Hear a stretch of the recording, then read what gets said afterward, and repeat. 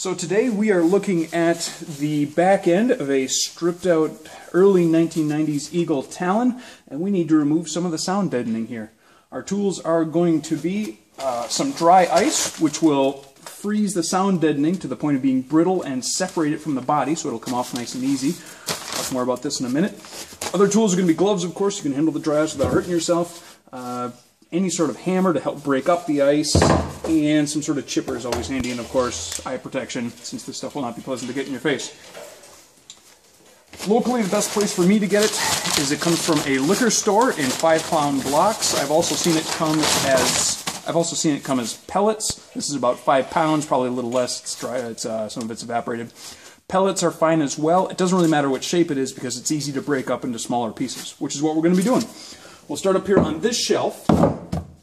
Um, other supplies, this is just a moving blanket to help preserve, hopefully, some of the cold and make our brick last a little longer.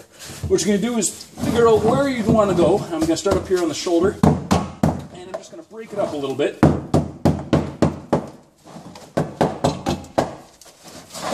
Powder, of course, works really well and chills it the fastest, but that's going to boil off the quickest, so you'll use up your whole block pretty quick. Probably shooting for something about the size of grapes or so. I'm going to break this up and then I'm going to cover it up with a moving blanket.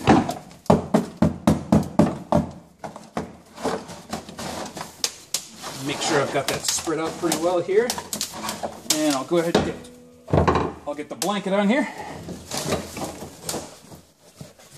There we go. And I'm not sure if the crackling is coming across here on the speaker on my camera here, but as it cools down, you can hear the whole thing cracking like a lake bed ice. And that is the sound of it working. Cracking will slow down pretty quick after about maybe 30 seconds or a minute or so. And once that gets through, you're ready to start removing it. There are some of the dry ice, some of the other removal methods or removal videos for using dry ice to get the sound deadener off will recommend like a, rubber mallet or a ball peen hammer or something, which definitely works. It takes it off in big chunks, but you don't need something quite that violent since if the ice is doing its job, it's already separating whole sheets of it from the body, and we can just use our handy dandy little prying tool, putty knife, whatever you got that's thin, to work under it and take it off in big sheets. That's probably long enough for that section to come up. We're going to pull it up, and as you work on each section, go ahead and just move all your ice to the next place you're going to be working on.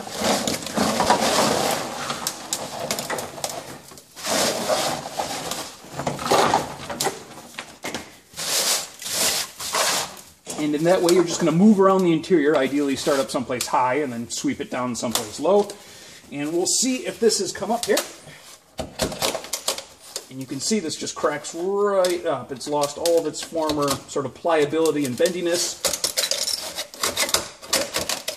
When it comes up, it should sound like ceramic floor tiles, just... And it'll chip right up.